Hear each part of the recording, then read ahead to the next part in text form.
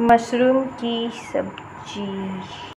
Mushroom को cut करने के बाद हम उसे अच्छी तरह से धो लेंगे और धोने के बाद हम इसे बॉईल होने देंगे। थोड़ा हेलो फ्रेंड रिया के यूट्यूब ब्लॉग में आप सबका स्वागत है। देख सकते हैं आज मैं आप लोगों के साथ मशरूम की सब्ज़ी रेसिपी शेयर करूँगी। और मशरूम को मैंने अच्छे से धो के बॉईल कर दिया है और इसके बाद यहाँ पे मैं छन्नी में से रखी हुई हूँ ताकि इसका पानी सारा निकल जाए और मसाले ये सब डालूँगी।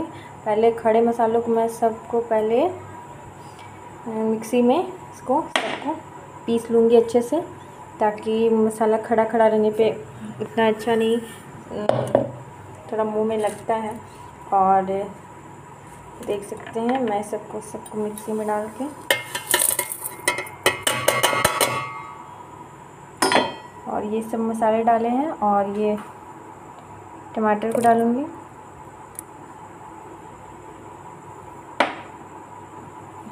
और जिंजर गार्लिक मैंने डाल दी है।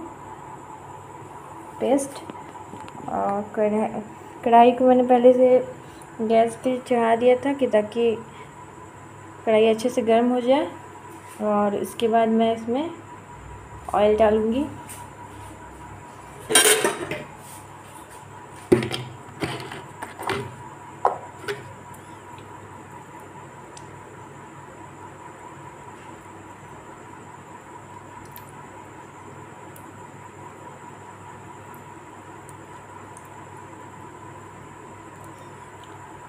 ऑयल डालने के बाद इसमें मैंने जीरा तो पीस लिया है, इसलिए तेज़ पत्ता डाल दूँगी। और ये फिर प्याज को जो कट किया था, एक बड़ा प्याज लिया था।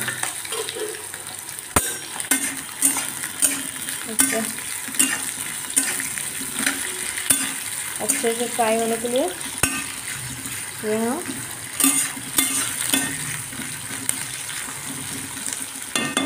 गोल्डन ब्राउन हो रहा था कि सब प्याज फ्राई होने दूँगी और उसके बाद मैं मसालों को पीस लेती हूँ। तब तक हमारे वीडियो में बने रहें।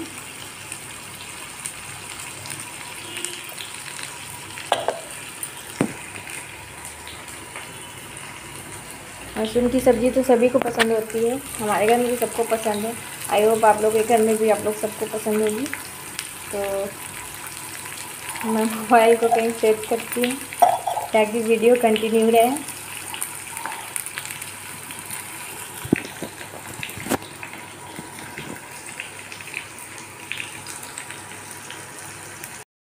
अब हम वीडियो को कंटिन्यू करेंगे। प्याज हमारा गोल्डन ब्राउन हो गया है। अब इसमें हम मशरूम को डाल देंगे, ताकि मशरूम भी थोड़ा सा अच्छे से फ्राई हो जाए, ताकि इसका कच्चापन जो है वो हट जाए।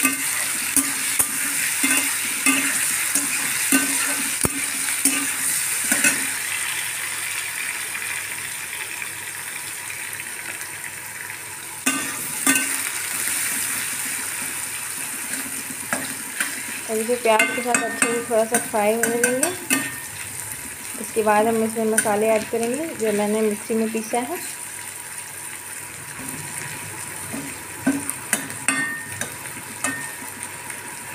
पाँच से सात मिनट इसको पकने देंगे।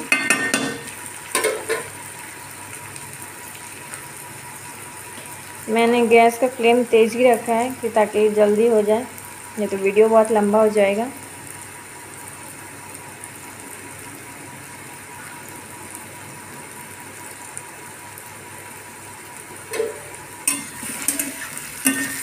बीच बीच में से चलाते रहें, ताकि मशरूम अच्छे से फ्राई हो जाए।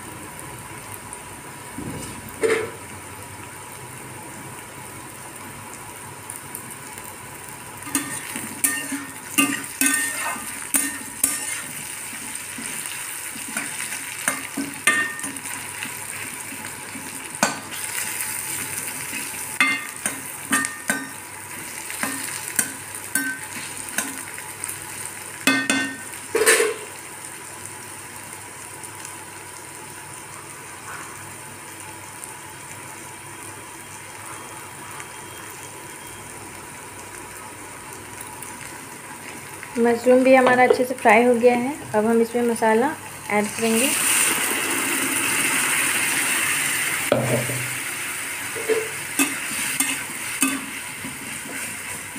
जो मैंने मसाले दिखाए थे, खड़ा मसाला डाला था, हल्दी, मिर्चा और धनिया पाउडर और जीरा पाउडर और खड़ा मसाला वही जीरा, गोलकी और दालचीनी डाला था और एक टमाटर डाला था। बड़ा साइज़ का एक टमाटर। इसको मैंने पीस के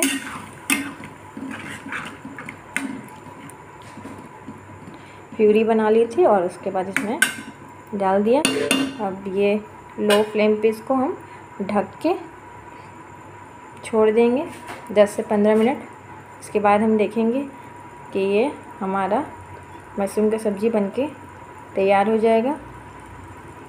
तब तक हम इसको ढक के पकने देते हैं। तो मैं आप लोगों को सब्ज़ी का फाइनल लुक दिखाती हूँ कि सब्ज़ी बन के तैयार हो चुका है। अब मैं इसे धनिया पत्ता से गार्निश कर दूँगी।